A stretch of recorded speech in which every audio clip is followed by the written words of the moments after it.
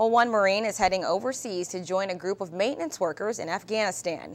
Terry Richardson bid his family and friends farewell this evening before boarding a flight to Atlanta.